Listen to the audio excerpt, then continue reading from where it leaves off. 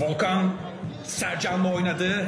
Sercan'dan Hami'ye. Hami'den bir çalım ikincisini deneyecek onu da attı. Ama hakemi çalımlayamadı. Dakika 17. Baskı devam ediyor. Gol yok. Sercan'dan uzak noktaya savunma. Şimdi Engin. Bilber kaç denemesi. Burak Token attı Engin'e. Engin Baytar. Engin Baytar atıyor.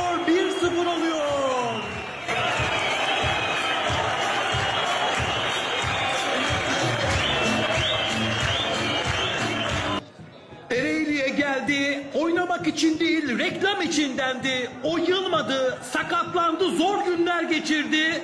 Ama ben Engin'im, bitmedim, bitmeyeceğim dedi. Temiz bir çalım, 3 kişi peşinde. Girdi altı pasa, yaptı golü 17. dakika.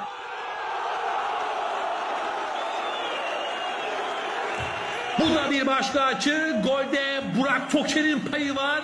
İşte Engin Baytar ve Karadeniz Ereğli Belediyespor MK Kırıkkale maçında 1-0 önde Engin Baytar'ın golüyle.